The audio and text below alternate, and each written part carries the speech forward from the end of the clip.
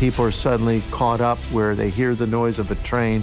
Usually, all that happens within 10 seconds. They have seconds to think, seconds to respond, and then during those seconds, they're wondering if they'll even live or die.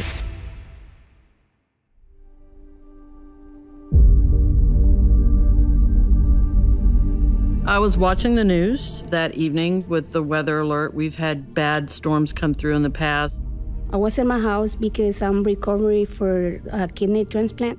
So I'm resting my bed and my son, he come into my house and he says, my brother called me and he says the tornado's coming this way.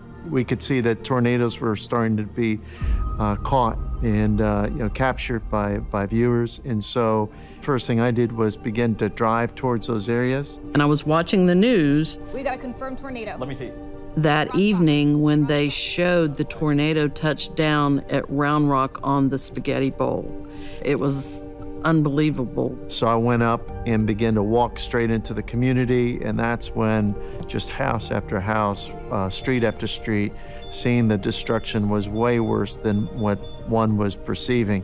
I think it was about six o'clock. We were all uh, sort of in the same room, and uh, and just like you hear a million times, it does sound like a freight train. I put them in the tub, and and we tried to grab some pillows off of the couch. A board came and would have hit Sam right in the face. It's got nails on the end of it. The cushion prevented him from taking a hit to the face, and I used my legs and I pressed against the bathroom vanity, the sink vanity, and then my back my back was to the door. I have insulation in me. My back was to the door and I just tried with all my might to not let the door open. I literally thought that was going to be it. Like a bomb. I see the news when the bomb hit something that, that looks like. We don't have nothing, not even shoes the kids crying because the toys, the uh, laptop they have for the homeworks, we don't have nothing. They feels like, oh my God, what am I do now? But I see my kids crying, all the kids crying, and I'm like, come on, Christina, you need to be stronger this time. So I just ask them, uh, you know, on the Monday that the tornado hit, what did you feel? I never forget one word that came out a few times was the word vulnerable. All of a sudden, we felt vulnerable. Eh, they didn't have control of what was going on. And they said it was over so fast. It was loud and over so fast. And then it was just silence. Our disaster relief team starting that night of the disaster. They were already mobilizing. The field operations manager starts calling in his teams. And so the first step is collecting that vital information to say whether they have insurance or no insurance, to whether they lost a vital car, whether they uh, had insurance on a rental or a home, because that tells us a lot in terms of the kind of money that we'll need to raise behind them.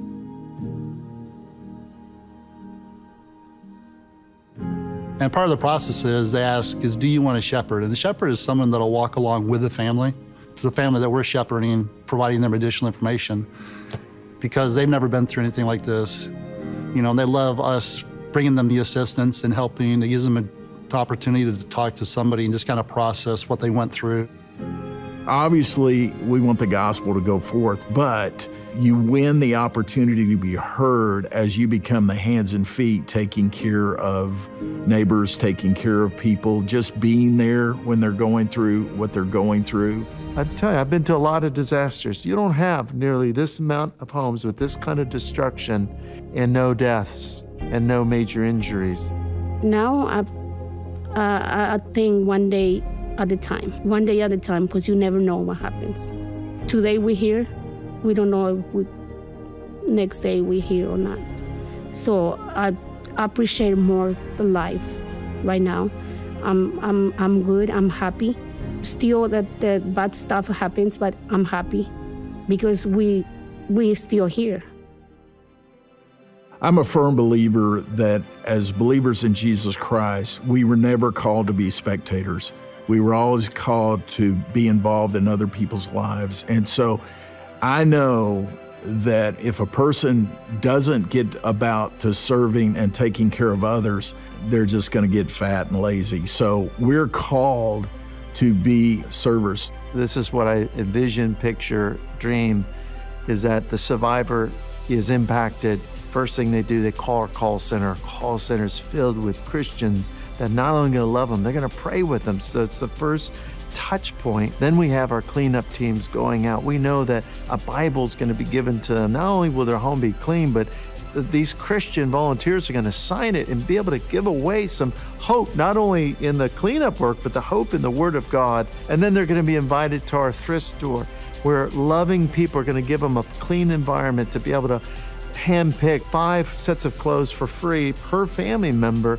And then it comes to the shepherding model where we'll actually assign an individual or group of people to walk with that family, which is another touch point of Christ. That's what I, I love about the way that the church is responding in this because we get to reveal the face of Christ in so many different ways that by the end, the heart of a survivor melts and they say, I want to know this Jesus, or I need to know this, this body that loves people. I want to be part of that family.